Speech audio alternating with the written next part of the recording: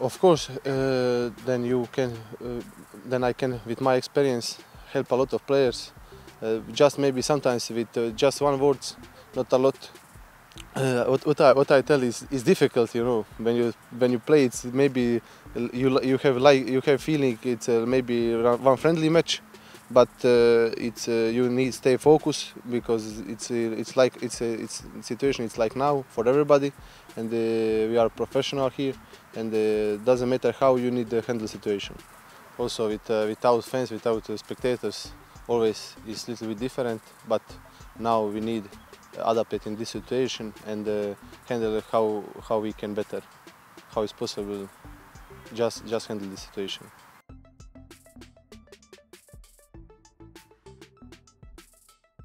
He is really good player. I think uh, have a really good uh, future here in Brøndby, and uh, he's a really good guy. He's really professional, and I and I I think he he he can have the really good uh, good good career.